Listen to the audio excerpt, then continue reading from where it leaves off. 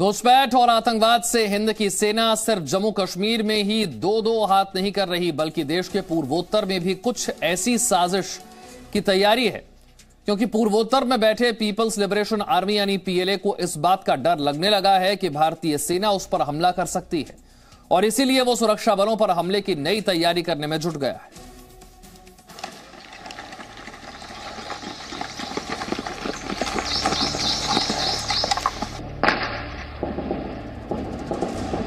जम्मू कश्मीर में आतंकियों का सफाया। पाकिस्तान और आतंक के सरगनाओं को बेचैन कर रहा है। लेकिन ये बेचैनी हज़ारों किलोमीटर दूर पूर्वोत्तर में भी महसूस की जा रही है। सूत्रों के मुताबिक नॉर्थ ईस्ट के उग्रवादी गुट, पीएलए, यानी पीपल्स लिबरेशन आर्मी को इस बात का डर सता रहा है कि कश्मीर में आतंकवाद पर काबू करने के बाद अब भारतीय सेना नॉर्थ ईस्ट में बड़ी कार्रवाई कर सकती है। सुरक्षा एजेंसियों की रिपोर्ट के मुताबिक पीएलए मणिपुर में अपनी ताकत बढ़ाने में लगा हुआ है। सूत्रों के मुताबिक सुरक्षा एजेंसियों को ये जानकारी मिली थी कि मणिपुर का उग्रवादी गुट पीएलए सेना पर हमला करने की साजिश रच रहा है। साथ ही पीएलए मणिपुर के कई इलाकों को अशांत करने की प्लानिंग भी कर रहा है, खासकर मणिपुर के चंदेल और चूरा चंदरपुर जिलों में। सुरक्षा बलों को निशाना बनाने की साजिश रची जा रही है। इसके लिए पीएलए को चीन से हथियार और विस्फोटक के साथ आर्थिक मदद भी मिल रही है। पिछले साल 13 नवंबर को सेना के काफिले पर घात लगाकर हुए उग्रवादी हमले की ज़िम्मेदारी मणिपुर में सक्रिय पीएलए ने ली थी। उग्रवादी संगठन पीएलए जानता है कि अगर उसकी हर देश विरोधी साजिश नाकाम होगी अगर उसने अशांति फैलाने या हिंसक हमले की कोशिश की तो सुरक्षा बल उसके खिलाफ कड़ी कार्रवाई करेंगे। भारतीय सेना के संभावित एक्शन से खुद को बचाने के लिए वो खुद अपने कैंपों के बाहर माइंस बिछा रहा है। तेरह नवंबर को मणिपुर के चूराचंदपुर डिस्ट्रिक्ट में एक कैराना हमला किया था, उसकी ज़िम्मेदारी ली थी, जिसमें कि आसाम राइफल के एक अधिकारी, उनके परिवार के सदस्य और अन्य जवानों को अपनी शहादत देनी पड़ी थी। और ज़ाहिर है कि इस कैराना हमला करने के बाद ये जो पीएलए है, वो वर्तमान समय में इस बात को लेकर के भयभीत है कि भारतीय सेना उनके ऊपर कोई जवाबी कार्रवाई कर सकती है।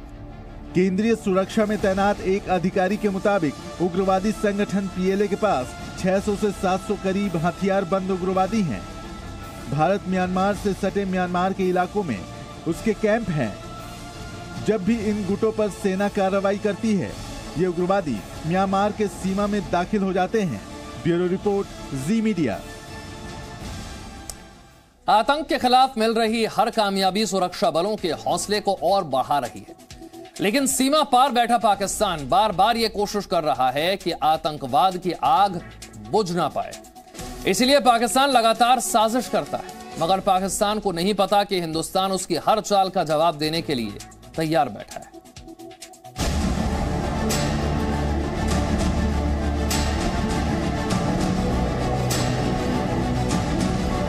जम्मू कश्मीर में आतंक की आग अब लगभग ठंडी पड़ चुकी है।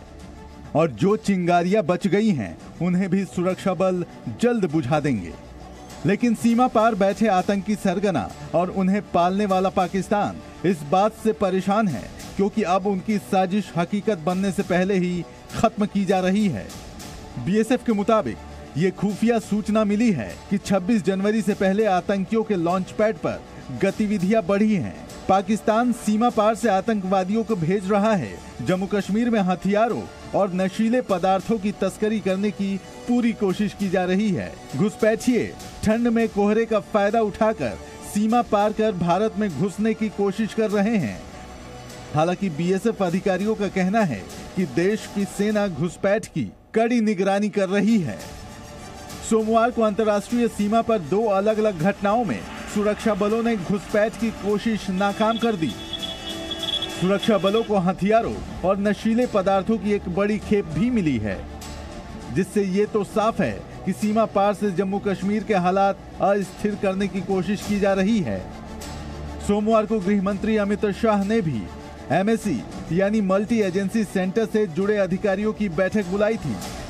ये बैठक राज्यों के साथ खुफिया इनपुट को बेहतर तरीके से शेयर करने और खुफिया तंत्र को मज़बूत करने को लेकर होती है।